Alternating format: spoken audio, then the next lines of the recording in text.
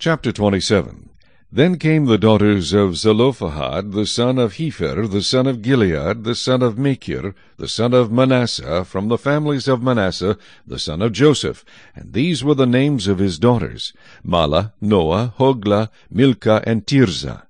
And they stood before Moses, before Eleazar the priest, and before the leaders and all the congregation, by the doorway of the tabernacle of meeting, saying, Our father died in the wilderness, but he was not in the company of those who gathered together against the Lord, in company with Korah, but he died in his own sin, and he had no sons. Why should the name of our father be removed from among his family, because he had no son?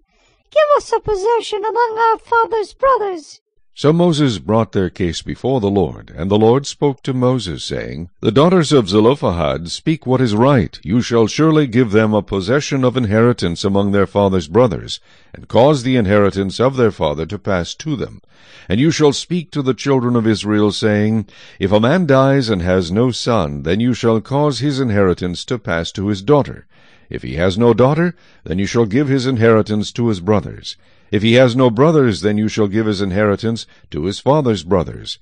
And if his father has no brothers, then you shall give his inheritance to the relative closest to him in his family, and he shall possess it. And it shall be to the children of Israel a statute of judgment, just as the Lord commanded Moses. So the Lord said to Moses, Go up into this mount Abarim, and see the land which I have given to the children of Israel. And when you have seen it, you also shall be gathered to your people, as Aaron your brother was gathered. For in the wilderness of Zin, during the strife of the congregation, you rebelled against my command to hallow me at the waters before their eyes. These are the waters of Meribah at Kadesh in the wilderness of Zin. Then Moses spoke to the Lord, saying, Let the Lord, the God of the spirits of all flesh, set a man over the congregation, who may go out before them and go in before them, who may lead them out and bring them in, that the congregation of the Lord may not be like sheep which have no shepherd. And the Lord said to Moses, Take Joshua the son of Nun with you, a man in whom is the Spirit, and lay your hand on him. Set him before Eleazar the priest, and before all the congregation, and inaugurate him in their sight. And you shall give some of your authority to him, that all the congregation of the children of Israel may be obedient.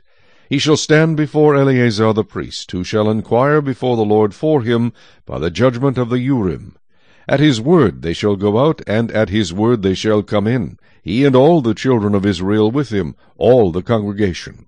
So Moses did as the Lord commanded him. He took Joshua, and set him before Eleazar the priest, and before all the congregation. And he laid his hands on him, and inaugurated him, just as the Lord commanded by the hand of Moses.